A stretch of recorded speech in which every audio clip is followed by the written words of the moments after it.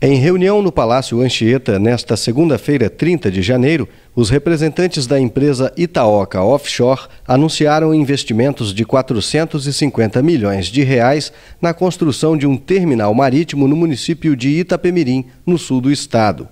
O terminal vai oferecer serviços offshore, como atracação, fornecimento de combustível e movimentação de cargas.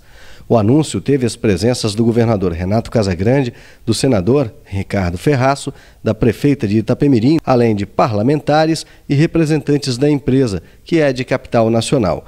O governador Renato Casagrande se comprometeu em apoiar o projeto com obras de melhorias viárias nas rodovias estaduais ES 487 e ES 490. O ambiente é, é excepcional, o governador sempre demonstrou apoio a esse processo, a esse projeto e a proximidade da BR-101, quer dizer, o, estrategicamente está muito bem posicionado e o governo sempre nos apoiou nessa iniciativa, sempre deu todo o apoio institucional que ele pode dar. Essa é uma política que nós estamos empreendendo e desenvolvendo de investimento em infraestrutura. Ao mesmo tempo, cada secretaria nossa, especialmente a de saúde e de educação, estão planejando investimento em unidade de educação, unidade de saúde, para fazer frente também à grande demanda que já está acontecendo e que vai ampliar nesses próximos anos.